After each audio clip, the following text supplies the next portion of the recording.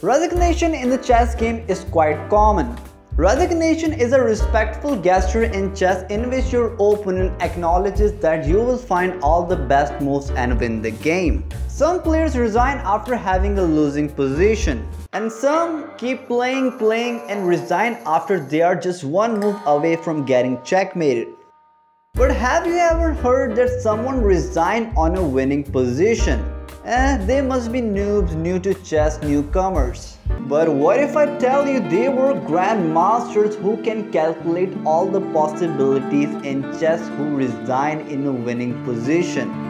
So let's talk about it with a couple of examples. This very first example is a game which majority of you have seen. It is between highest rated female chess player Yu Yifan versus currently world number 3 Hikaru Nakamura. In this position, Nakamura has black and Yu Yifan has white. With the engine perspective, game is draw but Yu Yifan has two passers on the queen side and Nakamura has to do something about it. Here Nakamura plays rook to d7 so he's aiming at d2 square to double up the rook on the second rank and attack g2 pawn and here Yu has just one thing c4 just push the pawn to promotion.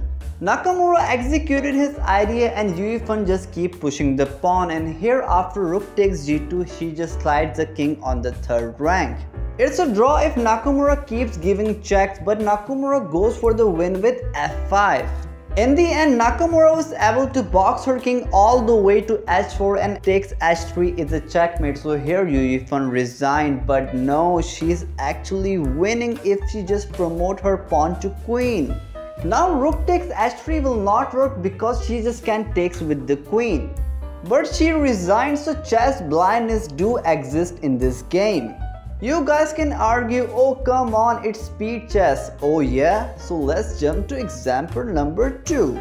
This game was played in Dutch Open Chess Championship between Grandmaster Vyacheslav Ikonnikov versus FIDE Master Rainer Odendahl. Here Grandmaster has a winning position and he plays g3 with the intention of a sneaky sacrifice. After knight takes g3 he plays queen to h3. Here mate is threatened on g2 so knight to e1 by fm. And here Grandmaster plays the unexpected queen takes g3 and here fm just resigned the game. But no, now white is completely winning because after he takes the queen in f2, he can't move to h2 because black just can brings the queen so he has to move to f1.